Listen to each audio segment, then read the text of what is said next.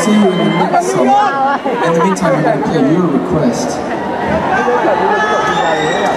What about Seymour?